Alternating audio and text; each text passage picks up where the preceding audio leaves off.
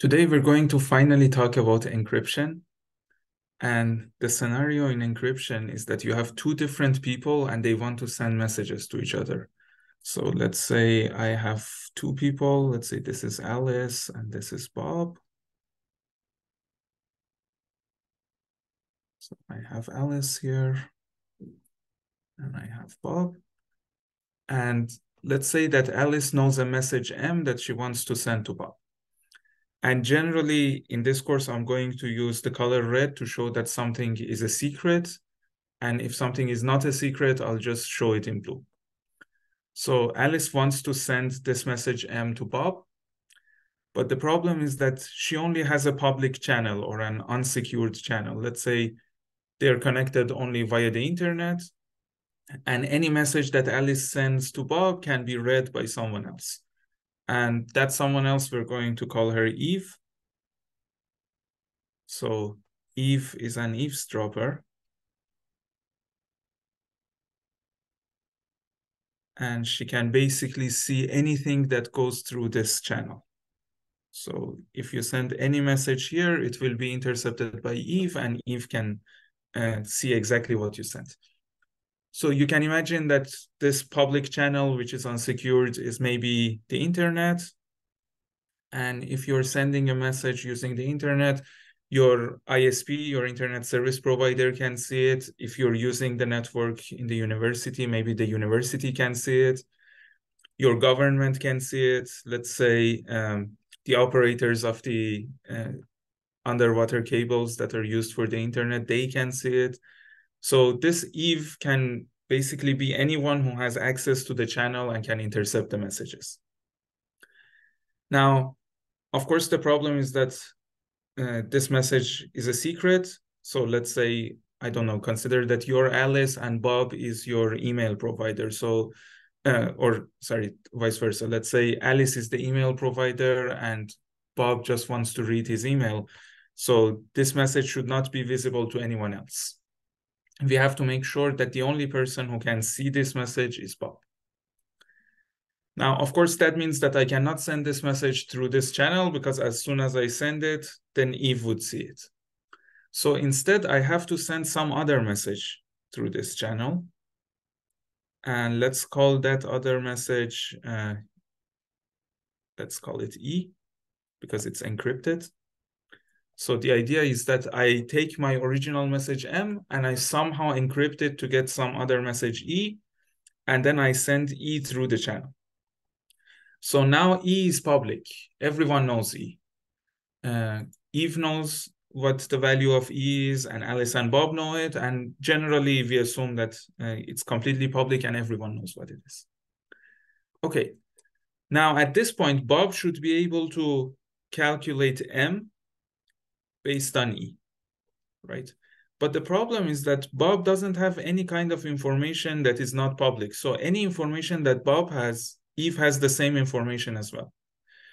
So if Bob can somehow uh, find the original message M by decrypting E, then Eve would be able to do the same thing.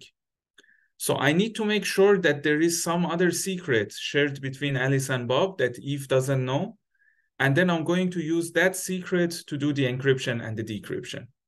So we call this usually a secret key. And let's show it with K. So at the beginning, I just assume that both Alice and Bob know a shared key K. And this is why we call it symmetric encryption because uh, they both have the same key. And then when Alice wants to send the message M, she's going to somehow encrypt it hopefully using the key K. And then this encrypted message E is going to be sent to Bob. Now, Bob is the only one who knows K other than Alice. So she, he should be able to now decrypt E and get back M. But we are assuming that Eve cannot do this. Okay. So let's actually try to formalize this mathematically a little bit. So I'm going to assume that first of all, we have a key that is known by both Alice and Bob. So both Alice and Bob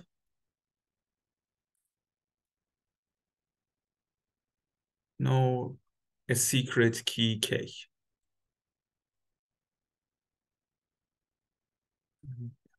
Okay, secret. And again, as usual, everything is a string. So I just assume that my key is a string. Generally speaking, I have strings of zeros and ones. So I can think of my key as a string, or I can think of it as a natural number, because of course it's just a number in binary. And I will switch between these two different views. So sometimes I think of my key as a string, sometimes I think of it as a number. And generally in this course, whenever I say number or string, they're the same. Okay. So both of them know a secret key. And additionally, I want to be able to do encryption and decryption. So I want to say that Alice knows how to encrypt. So Alice knows an algorithm uh, or a function that's used for encryption. So I'm going to just call it ENC for encryption. And this function or algorithm basically uses the key K and it maps strings to strings. So given the key K, Alice can take any message M and she can encrypt it and that would give the encryption of M, which we call E.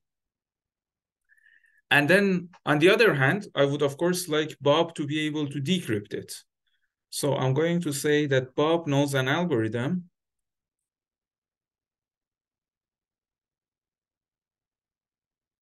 Let's call this algorithm decryption or DEC.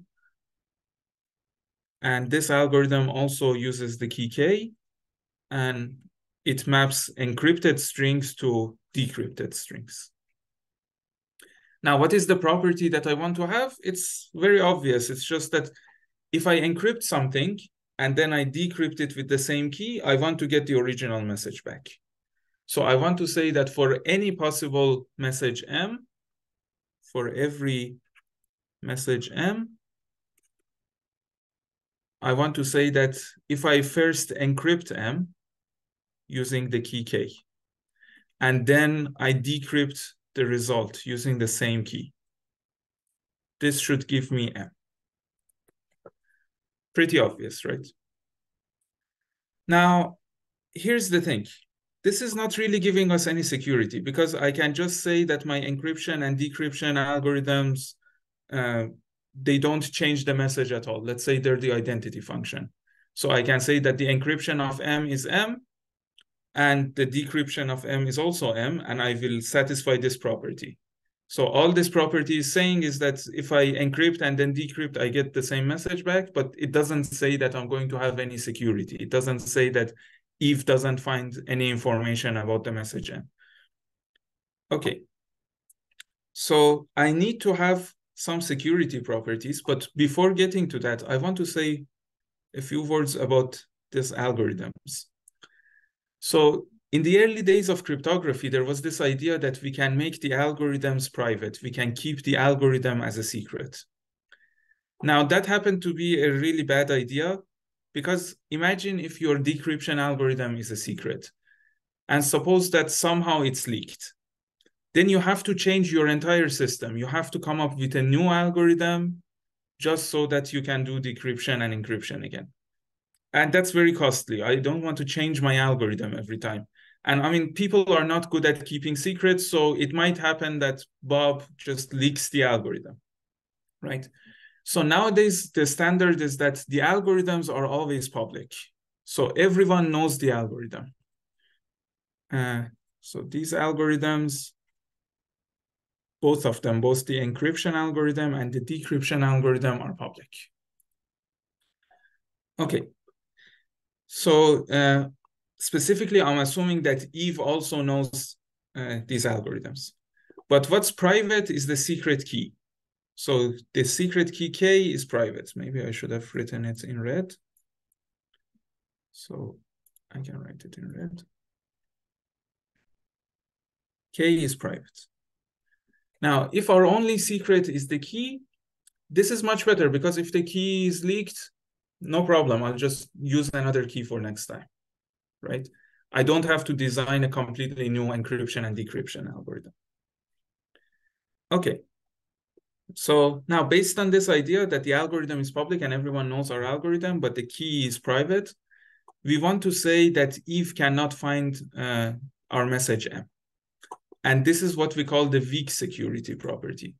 So the weak security property is that given the encrypted message E, which is the result of encrypting M by the key K, it should be impossible to compute M.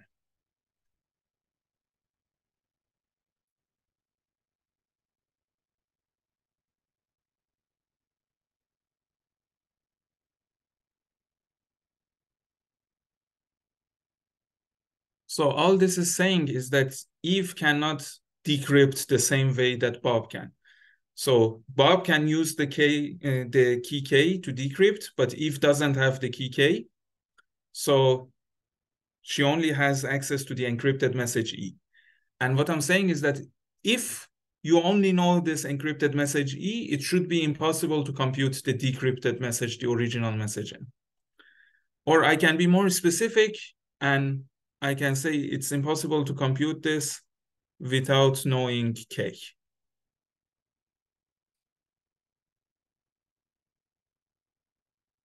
Okay. But as you see here, I'm calling this a weak security property. Because actually, it's possible that I cannot create uh, the entire message. Maybe I cannot compute M, but maybe I can find some information about M. So based on what uh, this encryption algorithm is doing, maybe I can find, let's say, the parity of M. Maybe I can figure out that M is going to be odd or even. That's already finding some information about M, right? And even that is not good enough for us. So if I'm leaking some information, even if I'm not leaking my entire message, even if Eve cannot compute M, it's still giving Eve some idea about what the message was. And uh, even that can have security implications. So I don't want to allow that. I want to make sure that Eve cannot find any information about them. And this is what we call the strong security property. So the strong security property is that given E, it is impossible to find any information about M.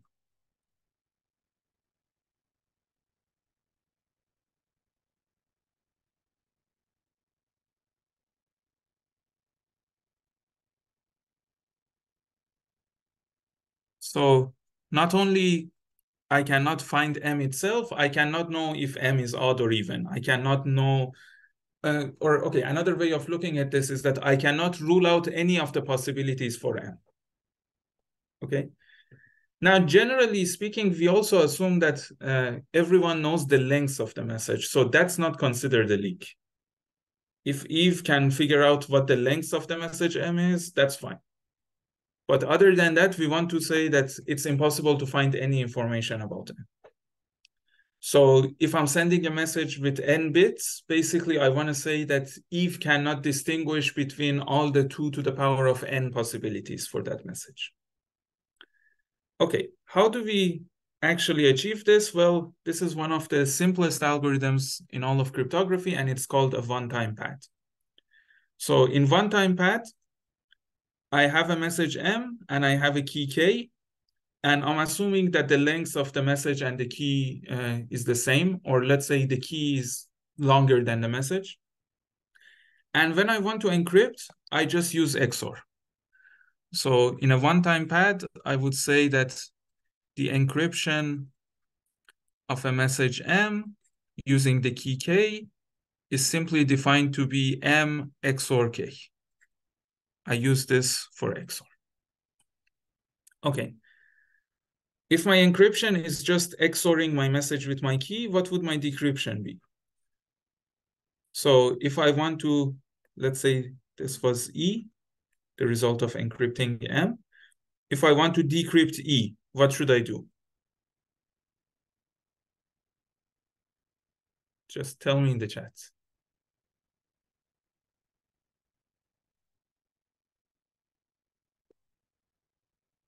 So remember, I need this property. I need to say that if I encrypt something and I decrypt it, I'll get the same thing back. Yes, you're right.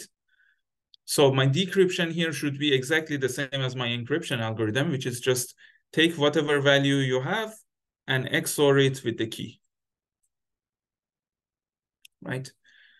And based on this, you can easily check that we have the property that we were looking for, which is like if I encrypt M and then decrypt it, so the result of decryption using K of encryption using K of M is just going to be, well, encryption using K of M is M XORed with K. But then if I decrypt it using K, I just get M XORed with K twice. But in XOR, these two cancel out, so I just get M. Okay. So very simple algorithm. Uh, pretty obvious that I can do this.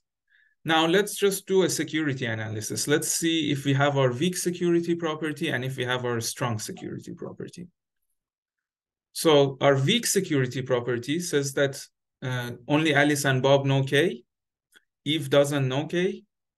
Eve only knows E, which is the encryption using K of the message M. So Eve knows M XOR K. Now, uh, we want to say that by knowing M XOR K, she cannot compute M without knowing K. Now, here's the part where things get interesting. Let's just do a proof by contradiction. Let's say that she could compute M. If she can compute M, since she also knows E, she can just XOR E mm. and M, and that would give her K. This is she also knows K. Okay. So, yeah, sorry, could you mute yourself? Someone is talking. Okay. So uh, basically, decrypting without knowing the key is as hard as knowing the key here. So we do have our weak security property. Or another way of looking at this is that if I don't know this key K, it's pretty much impossible to decrypt. Okay. But do we have the strong security property? So uh, I have to be a little bit more specific when I'm talking about the strong security property. And what I want to say here is this. I want to say, suppose Eve sees some message E. So Eve sees the encrypted message E, and she sees that this is a message of length n. Okay. Now, she already knows that our original message was also of the same length n. That's fine. I don't consider that a leak. So uh, what does Eve know? From her point of view, there are two to the power of n possibilities for m. Right? So my original message m, it has a length of n, and it's in binary, so I have two to the power of n possibilities for what m could be. So I have the strong security property if Eve cannot rule out any of these possibilities.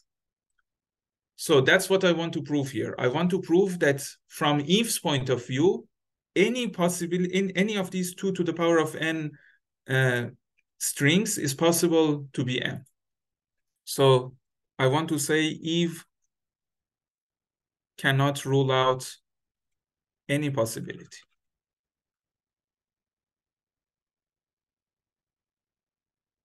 Another way of looking at this is that suppose I send two different messages. Suppose uh, I were to send M1 and M2. Eve cannot distinguish between M1 and M2. Okay. Now, why is this the case? This is the case because no matter what the encrypted message E is, Eve doesn't know the key K. So uh, for any possible initial message M, there is actually a particular key K that would give us E. So this is what I want to say. I want to say that formally, for every possible message M, there exists some key, and this key can depend on M, uh, such that the encryption of M using this key is E. So basically this means that when uh, Eve is seeing this encrypted message E, she cannot know which one of the original messages were used because any one of the original messages are possible. Okay. So what is my key KM here? Just tell me in the chat, what should I use for KM?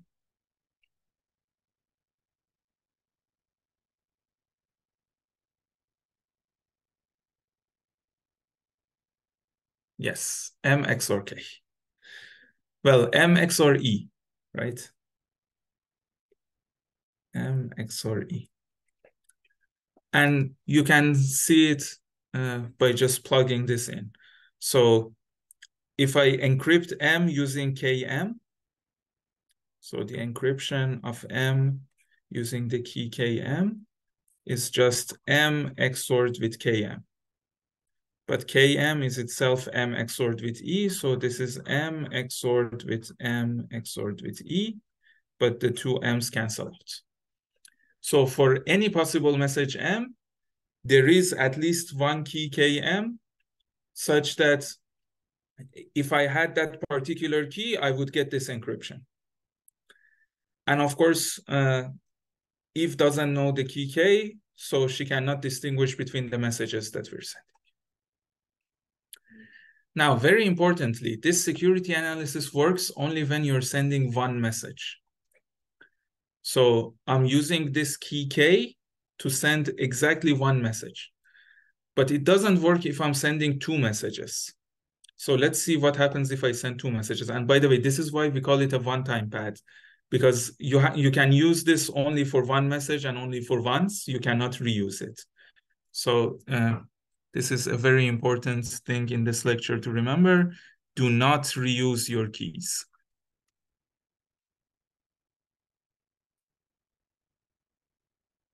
So here's what can go wrong. Suppose that I send two different messages using the same key. So I have Alice on this side as before and Bob on this side. And let's say that Alice has two messages, M1 and M2 and she also has a key K. And Bob knows the same key. Now Alice wants to send M1, so she encrypts it, and that's basically M1 XOR with K, and sends it to Bob. Now let's say that she uses the same key to encrypt M2. So she's sending M2 XOR with K to Bob. And again, just as before, Eve can see everything that's going on in here. So Eve sees M1 XORed with K and M2 XORed with K. What can Eve do now? Eve can take these two numbers and she can XOR them together. So she can take M1 XORed with K and XOR it with M2 XORed with K. But now we have XOR, so this K and this K cancel out. So she gets M1 XORed with M2. Now, she doesn't actually get M1 or M2. So in some sense, maybe we have the weak security property, but we don't care about the weak security property. We care about the strong security property. So we want to make sure that Eve cannot find any information about our messages. But now Eve has found the XOR of our messages. And that's some information because now she can rule out a lot of the possible combinations of messages. And you can imagine that if these messages were English words or if they were English sentences, knowing their XOR is actually going to give you a lot of information. It gives you a lot of possibilities to maybe uh, be able to guess what M1 and M2 were. And also, the other thing is it, it gets even worse if you continue doing this. If you send a lot of different messages using the same key, then Eve can find the XOR of any two of your messages. And that again gives Eve a lot of possibilities for uh, brute forcing or doing a dictionary attack or anything like that. So uh, in any case, formally speaking, if Eve can rule out any possibility for the messages or the combination of messages, she has found some information about the message and that's leaking. That's not acceptable for us. So it's not acceptable to leak the XOR of the messages. So you should not reuse your keys. make sure that for every message you use a new key. So this is a leak. Again, I'm saying this a hundred times. This is the most common problem that I see uh, in the protocols that are designed in the homework. So make sure that you don't use the same key more than once here. It's a one-time pad. Okay. Now we have a problem, right? So our problem is that we need to have a shared key, but what if we don't have it? Right? So uh, let's say I want to uh, interact with a website. Let's say I want to again read my email. I'm going to get a lot of different messages from this website. And if I need a new key for every one of them, I have to have a ton of shared keys with this website, and maybe I don't. I mean, normally you don't have that, right? So if you're connecting to the internet and trying to check out your email, you don't know uh, a lot of shared keys with Gmail. So now the question is, how can we actually get some shared keys? So this is the problem of key exchange. So imagine the same situation as before. Let's say I have Alice and I have Bob here. So Alice is here, Bob is here. And initially, they don't have anything in common. They haven't communicated before. And let's say that I have the same unsecured channel in between. And I also have Eve who can see anything that goes through this channel. Okay. Now, what do I want to do? I want to have a shared secret between Alice and Bob. But I can't do that, uh, at least not yet. What I can do for sure is that I can just ask Alice to create a secret on her own. So let's say Alice just generates some random number, let's call it A, and this is a secret that only Alice knows. And I can ask Bob to do the same thing. So Bob also creates a secret B. Now, Alice should not send A to Bob because if she does that, then Eve would see the secret A. So instead, I'm going to say Alice just applies some function to A and sends the result of that to Bob. So let's say Alice sends some f of A to Bob. Okay, so this is my first step. Alice computes some f of A and sends it to Bob. We will talk about what this function has to be later on. But generally speaking, uh, I want to make sure that this f doesn't really leak A. Uh, we've previously used hash functions for this. This f is not going to be a hash function. We'll see something else soon. But uh, the idea is that Alice has to send something to Bob uh, and she cannot send the secret. So let's just apply some function to the secret and send the result of that function.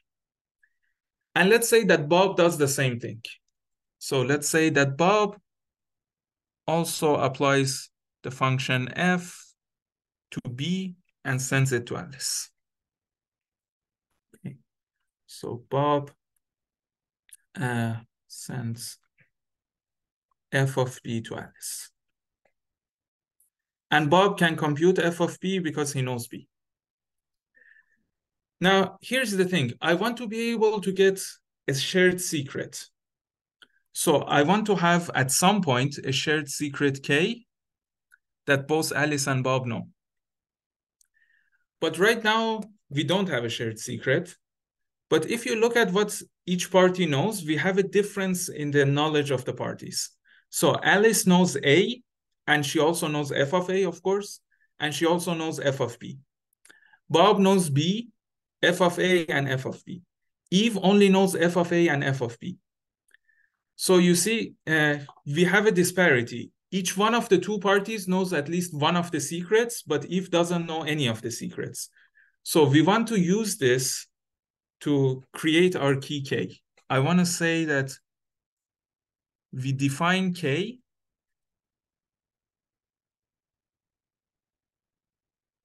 key to be a value that is easy to compute if you know one of the two secrets. Such that, so first, I want to say K is easy to compute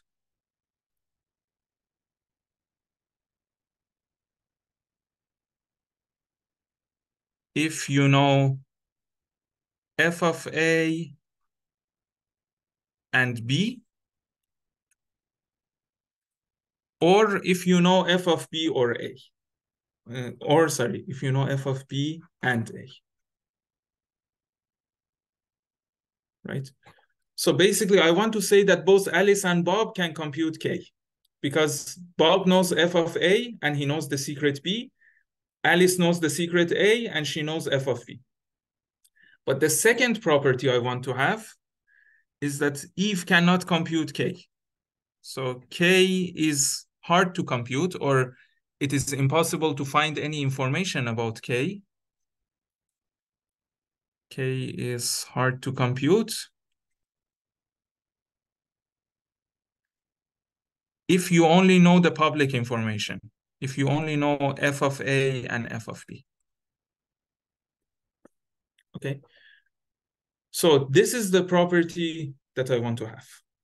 This is my security property. Now, how do we actually reach this? Well, I'm going to give you one way of doing it. This is called the Diffie-Hellman-Merkle key exchange. And I mean, I want you to just appreciate that this sounds impossible, but this is actually something that we can do in cryptography, and it's the basis of a lot of cryptographic protocols. So here's uh, how we're going to do this. Let me again draw this Alice and Bob figure. So let's say I have Alice on this side, I have Bob on this side.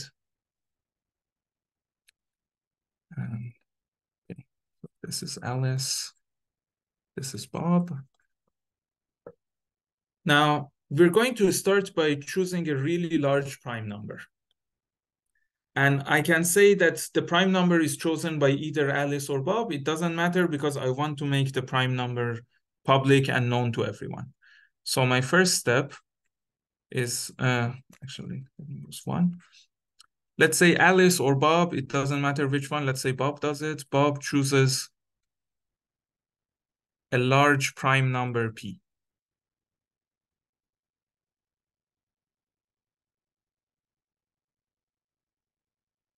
And this prime number should be really large because I want to do all of my calculations modulo p. So from this point onwards, I want to say instead of sending a string or a number, I'm always working with the remainder of that number modulo p. Okay, but that's fine because you can easily generate really large prime numbers. So Bob uh, creates this prime number and sends it to Alice. Okay. So Bob is sending this prime number P to Alice. Okay. But of course, the problem is that anything that you send here will be intercepted by Eve. So Eve definitely sees this prime number. Okay, let me use a different color. Okay. Now, other than this prime number, I'm going to also do something else, which is a little bit strange at this point, but you will get used to it. So Bob doesn't just choose a, a large prime number P. He also chooses what we call a primitive root. So he also chooses some number G. And this number G is going to be between 0 to P minus 1, because remember, all of our numbers are now going to be modulo P. But Additionally, this G is going to have a really nice property. And the property is that if I look at the powers of G, they're going to give me all the possible remainders modulo P. So if I look at G to the power of zero, which is basically one, G to the power of one, which is G, G squared, so on, all the way to G to the power of P minus two, this is going to give me all the remainders modulo p. So it's going to give me 1, 2 to p minus 1. All the remainders other than 0. Okay? So this is what I call a primitive root. So this kind of g is called the primitive root. or if you've done uh, group theory, it's also a generator of the multiplicative group. So you don't need to know that right now. It's just that I want to make sure the powers of G can give me all the possible remainders modulo P, except for zero, of course. Now, uh, well, which uh, means G itself cannot be zero either. Okay. So don't worry about how we actually uh, calculate this. There are algorithms that give you large prime numbers, and it's actually quite easy to find primitive roots. So let's say that Bob could uh, calculate both of these things. And I'm going to make G public as well. So Bob sends both P and G to Alice. And Eve sees both of them at this point. Now, the next step is exactly what we had here, which is that each person chooses uh, some secret for themselves. So Alice is going to choose a secret A, Bob is going to choose a secret B. And hopefully they're going to choose it randomly. So let's say they have a random number generator on their computer and they use that to find uh, a secret. So Alice is going to compute the secret A, Bob is going to have a secret B. So this is my second step. Alice chooses some secret A. And this A is going to be, again, between 1 to P minus 1. And Bob chooses a secret B.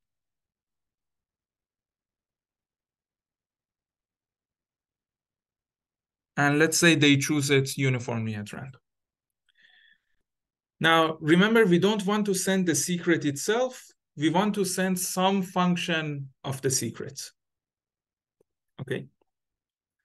So the function that I'm going to use is just going to be g to the power of the secret. So this is step three. Alice computes g to the power of a.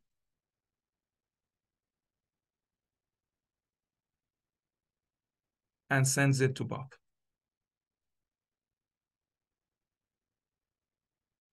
She can do this because she knows A. And on the other hand, Bob computes g to the power of b and sends it to Alice.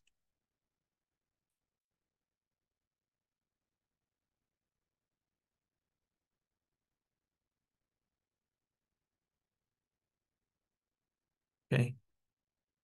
So now Alice has sent g to the power of a to Bob, and Bob is sending g to the power of b to Alice.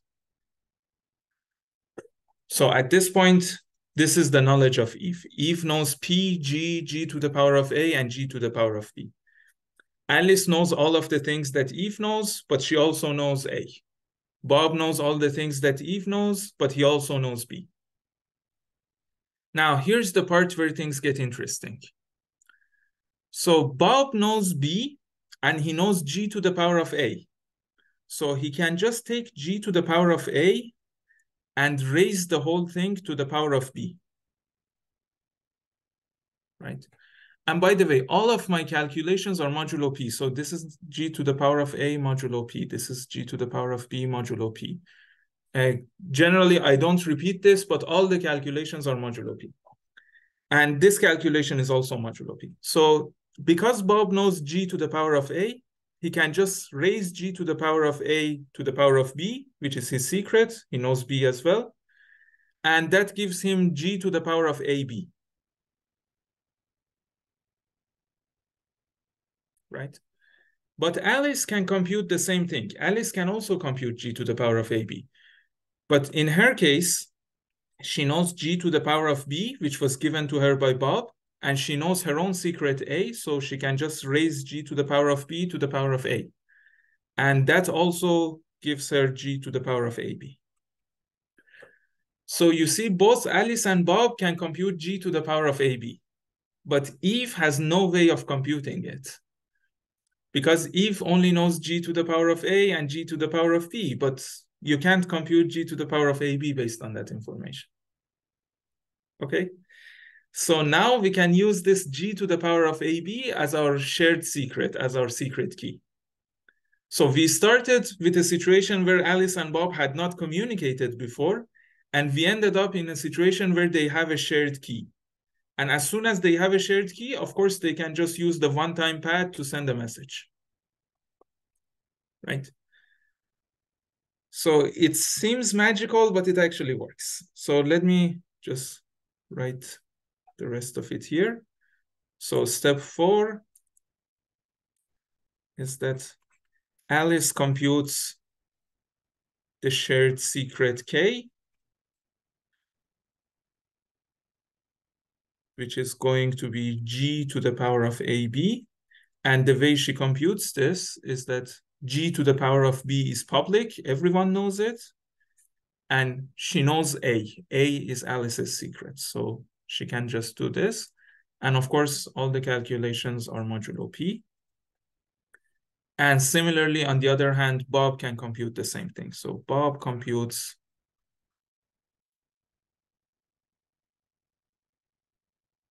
the same K, which is G to the power of AB. But the way he does it is a bit different. He knows G to the power of A, which was communicated by Alice, and he knows B, which was his own secret so, and again, the calculations are modulo P. So they both have K now. And uh, finally, we have a shared key between the two sides. Okay. Uh, and again, these calculations are also modulo P. So this is also G to the power of A mod P. This is G to the power of B mod P. Okay. Now, let's just look at the point of view of Eve. What does Eve know? Eve knows what? All the messages that we have sent are uh, intercepted by Eve. So Eve knows these things. In the first step, we sent our prime number and our primitive root G. So Eve knows P and G. So she definitely knows P and G. But then we also sent g to the power of a and g to the power of b. So she knows those as well.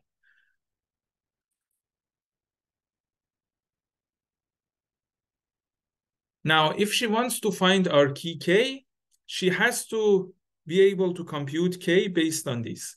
So Eve knows these things and wants to compute k.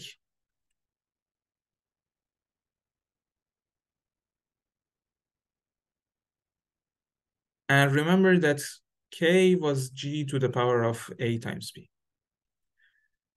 Now here's the part where uh, this lecture gets a little bit unsatisfying.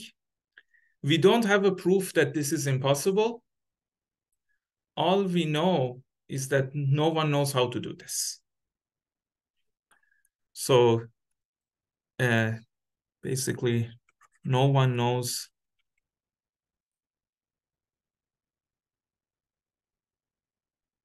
how to do this. Now, this is a little bit like the proofs of NP hardness that you see. So in your algorithms courses, you've probably seen that sometimes we prove that a problem is NP hard or NP complete. And then we pretend like that means there is no polynomial time algorithm for it. Okay. But the fact of the matter is that we don't know whether P is equal to NP. So when you're proving that a problem is NP hard, all you're proving is that no one, no computer scientist alive knows a way to solve it in polynomial time. Now, this is a very similar situation.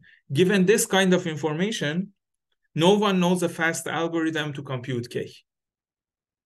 And many people have tried for uh, several decades. No one has come up with anything.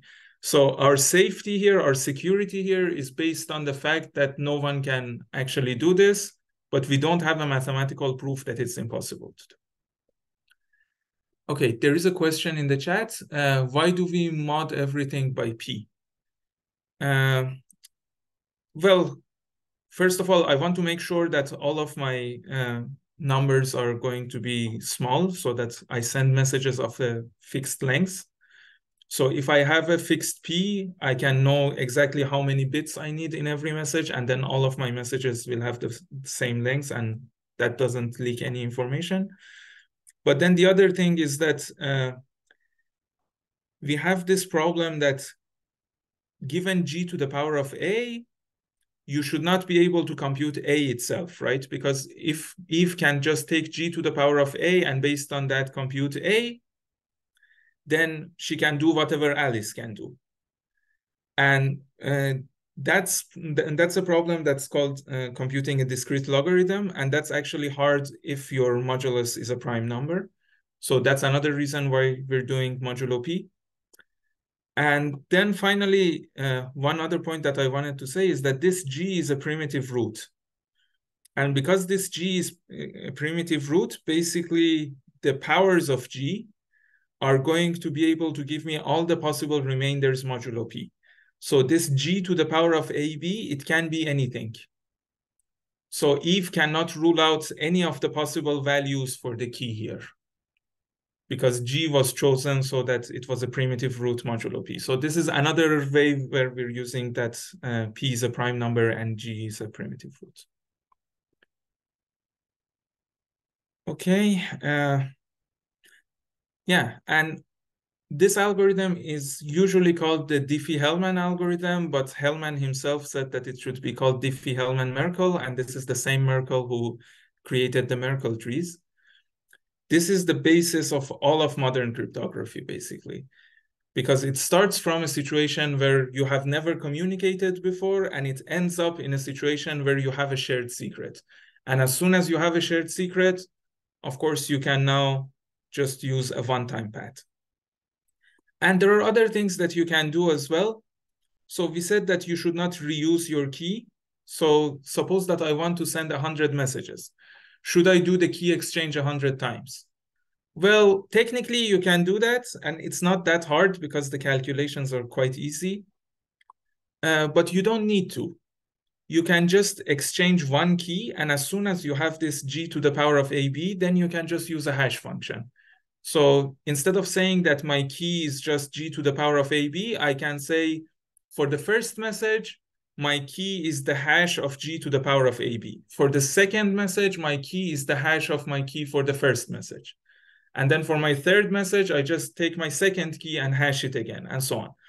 Or instead of a hash function, you can also use uh, a random number generator like the rand function in C++, and you can just use this g to the power of ab as your seed for the random number generator. As long as both sides can get the same sequence of keys, you're fine. So it's actually possible to do just one key exchange and then have many different keys in common and then use all those keys to do one-time pad. But uh, I'm going to end this session on the same point that I made here. Do not reuse your keys. It's fine if you have a key K and then you change it for the next time and so on, but you should never reuse the same key K to send two different messages. Okay, so that's it, and I'll see you next week.